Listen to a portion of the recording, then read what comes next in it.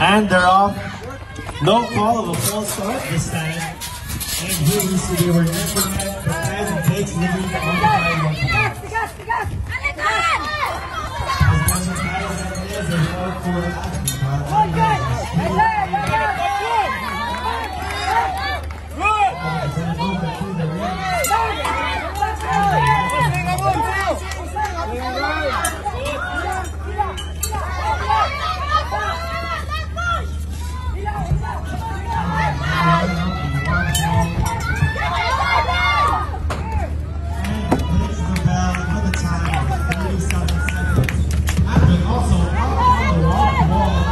Bye.